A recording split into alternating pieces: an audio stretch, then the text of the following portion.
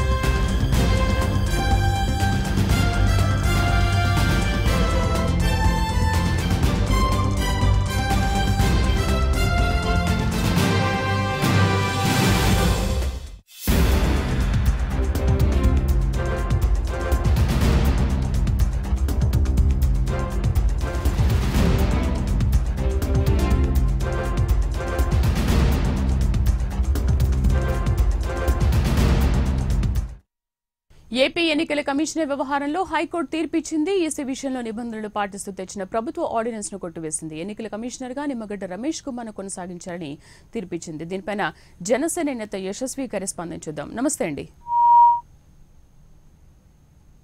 యశస్వి గారు ఏపీ ప్రభుత్వానికి హైకోర్టులో ఎదురుదెబ్బ తగిలింది. దీనిపైన మీరేమంటారు? మీ స్పందన ఏంటి?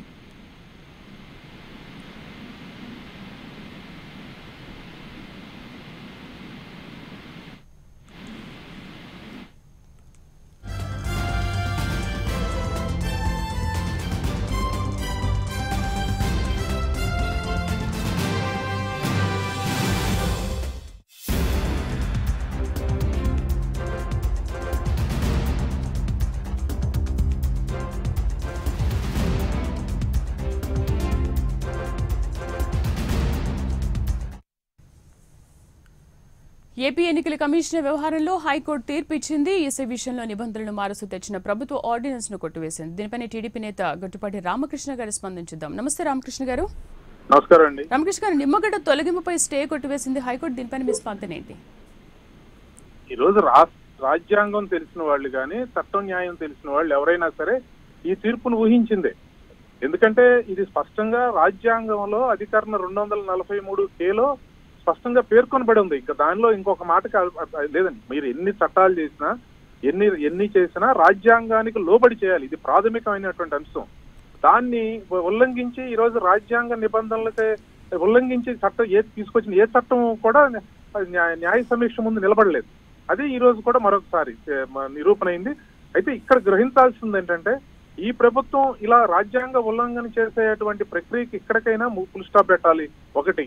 రెండు ఈ ఈ అంశంలోకి వచ్చేటప్పటికి ఈ పదవిలోకి వచ్చి ఆ, వచ్చే వ్యక్తి ఆయన మాజీ న్యాయమూర్తి తర్వాత ఆయన న్యాయవాదిగా కూడా ప్రాక్టీస్ చేశారంటున్నారు. నేనేమంటున్నానంటే ఆ మాత్రం ఆయన చట్టం చదువుకోకుండా ఎలా వచ్చారని ఇది ఇది ఇది అనవసరంగా ఈ రాష్ట్రాన్ని వివాదాస్పదం చేయటమే కదా అని. ఎక్కడెక్కడి నుంచో వచ్చిన వాళ్ళందరూ ఈ రాష్ట్రాన్ని ఒక ఎక్స్పెరిమెంటల్ గ్రౌండ్ చేసి కావాలని చెప్పి అనవసరమైనటువంటి వివాదాలు సుడిగుండంగా ఈ రాష్ట్రాన్ని సృష్టించే ప్రయత్నం చేస్తా ఉన్నారు కదా. ఇది మీరు మిమ్మల్ని ఒక ప్రభుత్వం సంప్రదించినప్పుడే మీరు చెప్పుండాలి. ఇది కరెక్ట్ కాదు నేను ఒక జడ్జిని నాకు తెలుసు ఇది చెల్లదు అని చెప్పి. అంత అవగాహన లేకుండా ఉన్నప్పుడు మీరు ఎలా మీరు ఎలా ఎంతకాలం ఎలా ఉన్నారు అనేది కూడా ఆలోచించుకోవాలి కదా. ఇది చాలా దురదృష్టకరమైనటువంటి పరిణామం పరిస్థితి మేడం. ఇది ఎందుకంటే ఈ రాష్ట్ర అంటే ఈ తీర్పుని చట్టం తెలిసిన వాళ్ళు ప్రతి ఒక్కళ్ళు రాజ్యాంగం తెలిసిన ప్రతి ఒక్కళ్ళు ఊహించిందే. కానీ ఇక్కడ దాకా ఇంత వివాదం ఏర్పడతాం ఇంత పరమైనటువంటి అంశంగా ఈ రాష్ట్రం ఒక అలజడి రాష్ట్రంగా పూర్తి ప్రతిదానికి తన్నులాడుకునే గుద్దులాడుకునే రాష్ట్రంగా ప్రతి అంశంలోనూ ఒక నియంత్రిత ద్వారంతో వెళ్ళే రాష్ట్రంగా ఇతర దేశ ఇతర రాష్ట్రాల ముందు తలంచుకునే పరిస్థితి రావటం అనేది దురదృష్టకరమైనటువంటి అంశం. అంతేకాకుండా దానికి సహకరించిన వాళ్ళని కూడా తీవ్రంగా దీనిలో తీవ్రంగా తీసుకోవాల్సిన అవసరం ఉంది. సహకరించడం అంటే అందా నేను చెప్పాను కదా కనకరాజు గారు ఎలా వస్తారండి ఆయన? చట్టం ఇప్పుడు మీరు ఎవరిని ఒక చిన్న లాయర్ గారిని ఎవరైనా లాయర్ కూడా అవసరం లేదండి ఐదో తరగతి చదివిన పిల్లాడిని తీసుకెళ్ళి ఆ ఇరవై నాలుగు రెండు వందల నలభై మూడు కేలో ఏముంది ఆయన అంటే చెప్తాడు కదా ఆ మాత్రం ఆయన తెలవలేదా? ఎలా నిలబడద్దు అనుకున్నారు?